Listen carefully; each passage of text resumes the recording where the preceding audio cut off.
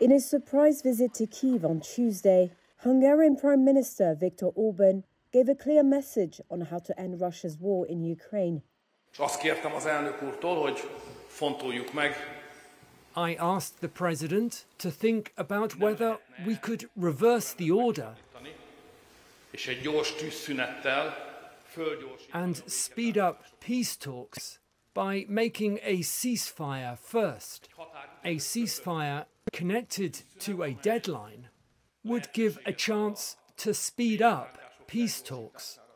I explored this possibility with the president, and I am grateful for his honest answers and negotiation.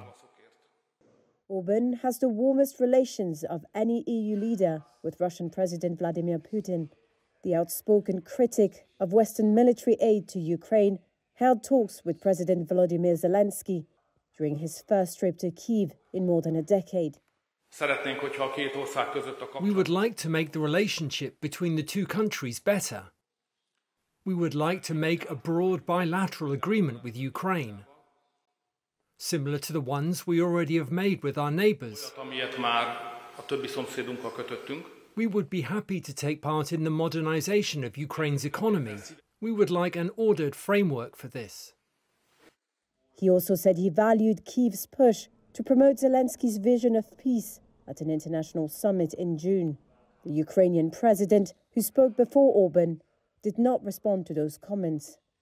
Ties between the neighbors came under heavy strain after Russia launched its full scale invasion of Ukraine on February 24, 2022. Budapest has often opposed the European Union efforts to support Kiev. Earlier this year, it took EU leaders weeks to break Orban's veto to extend over 50 billion euros in new aid to the war torn country.